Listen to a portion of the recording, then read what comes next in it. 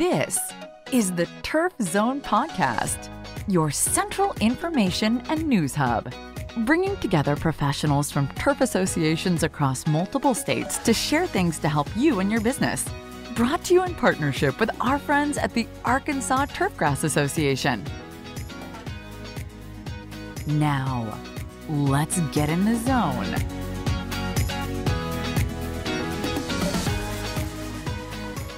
Welcome to the Turf Zone.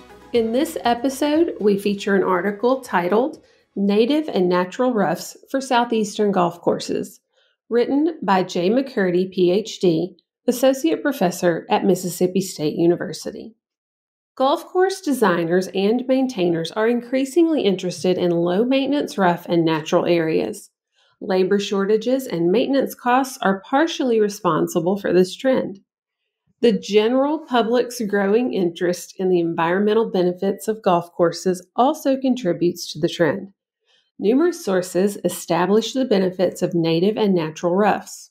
Although not discussed in length, benefits include aesthetics, reduced inputs such as fertilizers, pesticides, fuel, equipment hours, and labor costs, improved stormwater retention and runoff water quality, temperature modification, and wildlife habitat inclusion.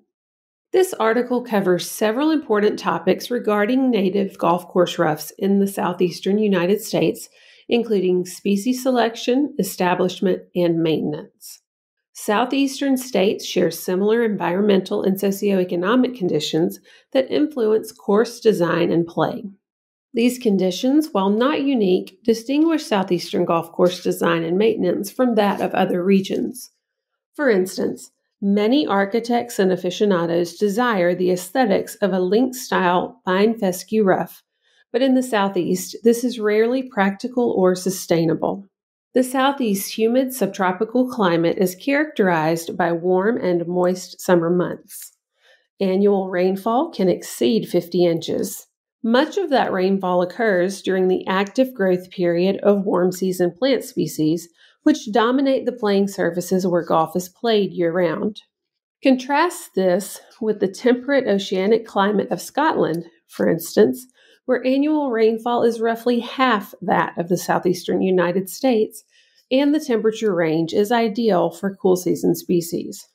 For these reasons, species selection, culture of native areas, and expectations for golf courses in the southeastern United States should be soundly based.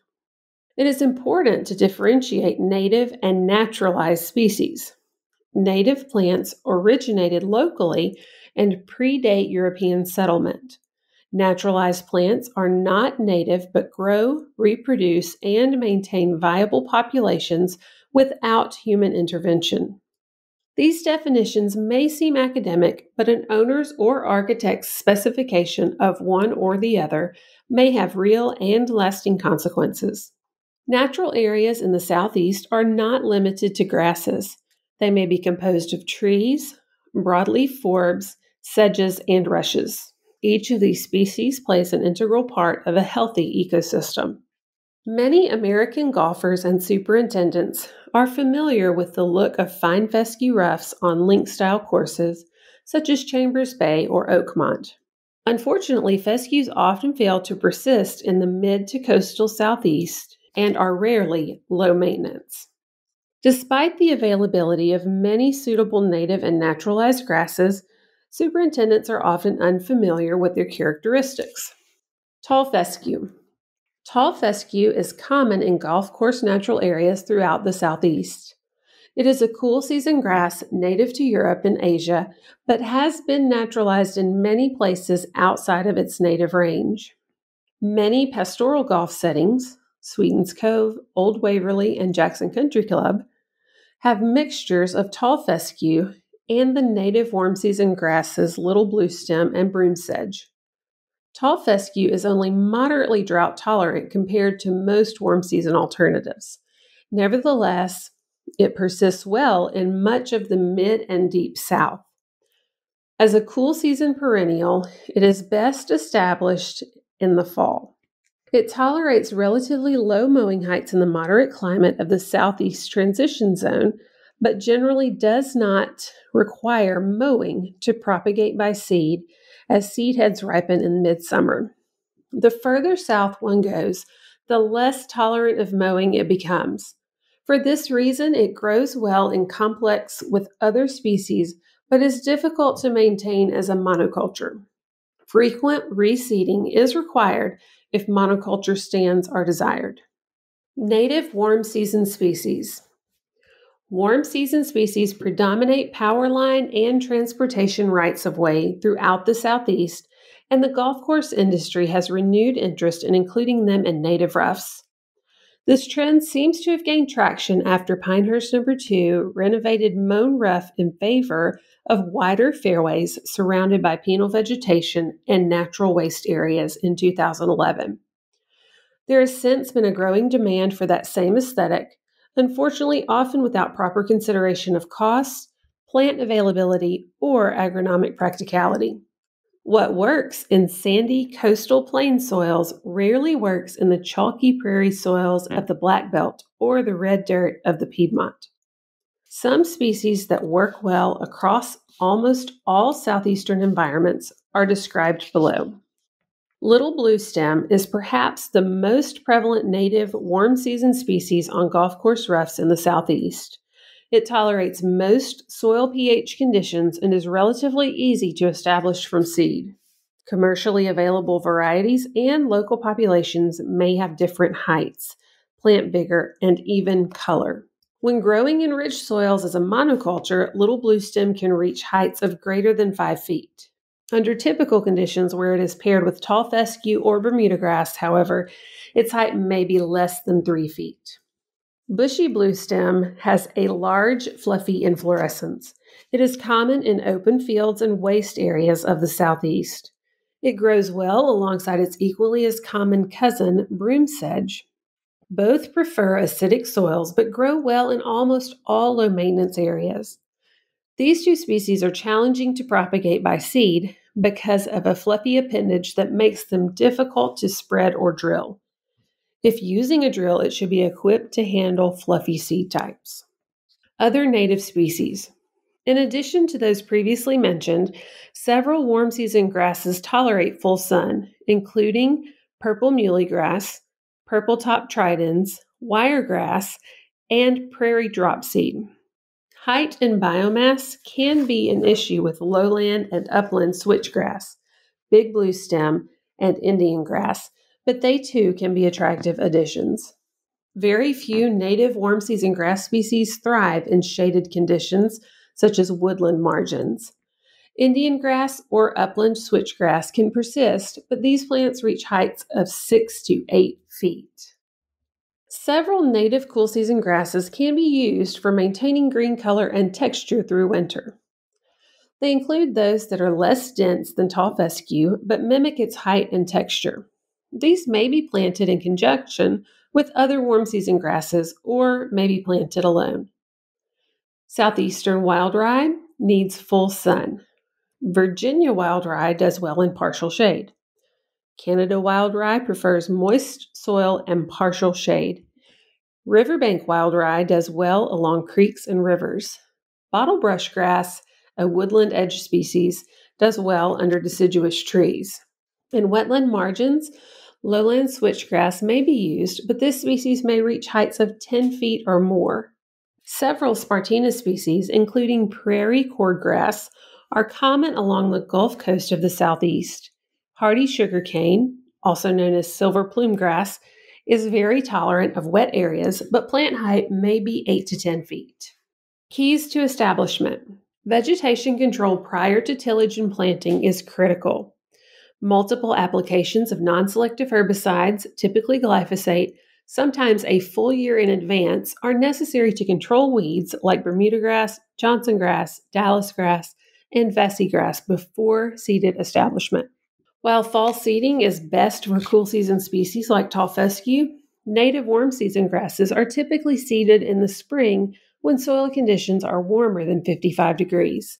Native grasses are slow to establish and require some additional consideration. It may take three or more years to reach a mature, dense stand. Weed control during this time may be aided by applications of plateau, which is safe on many native warm season species, but will control most cool season species, including tall fescue. Plateau will control young crabgrass and will suppress Bermuda grass and Dallas grass, but has little effect on broadleaved weeds. The exposed soil of slowly establishing native warm season roughs is an open invitation for warm season annual broadleaf weeds like Virginia buttonweed, tropic croton, chamber bitter, and poorjo. A broadleaf herbicide like crossbow or native clean is often warranted during the first few years of establishment. Complicating weed control further is the fact that these native roughs can grow so tall that a standard boom sprayer cannot pass over them. For this reason, a single nozzle boomless sprayer is sometimes required for late season applications. Mowing and burning. Native and naturalized species propagate by seed. Golf course superintendents may leverage this characteristic to manipulate stand density. Cool season grasses disseminate their seeds during the summer. Warm season grasses disseminate their seeds during the fall and winter. Seed propagation relies upon open, exposed soil, which may be achieved by grazing, mowing, or burning. Mm-hmm. Tall fescue evolved under grazing pressure rather than seasonal burning, but mowing is a common substitute. Most species native to the southeast evolved under grazing or periodic burning, and thus mowing is a viable substitute. For playability, one may wish to decrease plant density in natural areas so that golfers can find balls. This is achieved by mowing at suboptimal times. For erosion control or aesthetics, one may wish to increase plant density. This is achieved by favoring the desired plant species. Most courses will strategically mow or burn parts, but not all, of their rough on an annual basis. For seed dispersal and increased stand vigor of native warm season species, mowing or burning should occur when seed heads are ripe and plant material is senesced or dry and brown. The recommended mowing height for most natives is at least 8 inches. Tall fescue tolerates relatively low mowing heights, approximately 4 hmm. inches. Many superintendents favor a mixed stand of tall fescue and native warm season grasses like broom sedge and little blue stem. Shifting a population away from tall fescue and towards native warm season grasses is easy to achieve with winter burning, followed by two applications of plateau in roughly April and June. Alternatively, introducing cool season species with fall seeding of tall fescue or native cool season grasses can be aided by suppressing the growth of native warm season species with summertime mowing. Flowering plants and pollinator habitat. Introduction of flowering plant species is rarely discussed in context with establishment of biodiverse golf course rough. The topic deserves its own essay, but the same techniques previously mentioned may be used to favor the seeded establishment of pollinator friendly forbs and wildflowers. These species are far less tolerant of the herbicides mentioned thus far, in fact, Mississippi State University research indicates that very few herbicides are safe across the typical species found in southeastern flora. The ACCase inhibiting herbicides like Fusilade, Poast, or Segment, and Acclaim that control grasses are useful during the establishment of broadleaf species and can be applied at rates that allow tall fescue and most native warm season grasses to recover. Halosulfuron is useful for sedge control and is safe across most grass and forb species. Controlling annual broadleaf weeds within mixed grass and forb areas relies upon spot treatment for control, but low rates of image or basagran are moderately tolerated by established stands of many flowering plant species. There are two approaches one might choose to establish pollinator habitat in native and natural roughs of the southeast. 1 pollinator refuge islands. These islands would intentionally be forbs rather than grasses. Start clean. Prepare a seed bed by controlling all vegetation and tilling prior to seeded establishment of a seed mixture. This will result in more uniform density. Grasses can be kept at bay using repeat applications of ACCase inhibiting herbicides. 2. Mixtures of grasses and forbs. These mixtures mimic what naturally happens in prairie environments of the southeast. Experience suggests that starting forbs in established grass is easier than trying to establish grasses and forbs simultaneously. This is because of the need for herbicidal control of many weeds during the early establishment period. A better strategy may be to establish native or naturalized grasses in years one and two, then thin grasses mechanically or chemically to interseed flowering forb species in spring of a subsequent year. Parting thoughts Low maintenance does not mean no maintenance. These areas require a unique skill set trained labor, specialty equipment, and knowledge. Native and natural areas are penal. Owners, architects, and other stakeholders should be involved in course design and the development of a strategy that leads to long term success. That strategy should include flexibility and patience. This long term approach can be aided through signage and written communication that educates golfers and helps our colleagues in the pro shop. Most importantly, enjoy the process. These areas are fascinating to watch as they ebb and flow throughout the seasons. For all photos and resources associated with this article, check out our show notes. And don't miss an episode. Subscribe on Spotify, Apple Podcasts, or wherever you get your podcasts. You can also visit us at theturfzone.com. You've been listening to the Turf Zone. For more episodes of the Turf Zone, visit theturfzone.com and subscribe on Apple Podcast, Stitcher, or your favorite podcast app.